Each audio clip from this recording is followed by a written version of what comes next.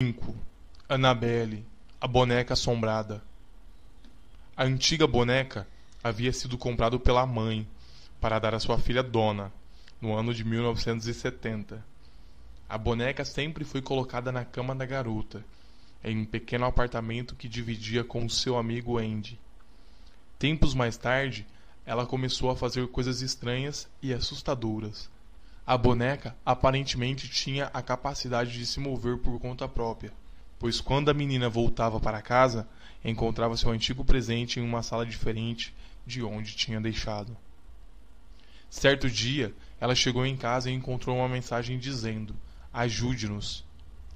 Mais tarde, sangue começou a aparecer na boca da boneca. A dona solicitou uma sessão espírita, onde foi relatado que o brinquedo se chamava Anabelle uma garotinha de sete anos que tinha sido encontrada morta no terreno de um apartamento. O espírito foi encarnado na boneca para que ela pudesse ter uma companhia.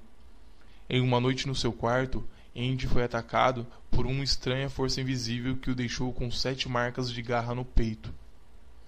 Com medo, os amigos solicitaram a presença de um investigador paranormal, e ele constatou que a boneca era um espírito demoníaco que buscava um hospedeiro humano e caçava fraquezas emocionais em garotas.